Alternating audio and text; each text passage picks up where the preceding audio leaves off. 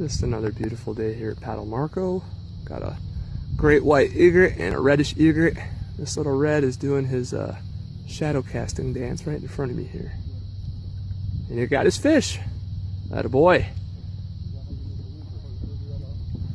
And if we look down, we've got a little sea star right here. It's a fun group right there.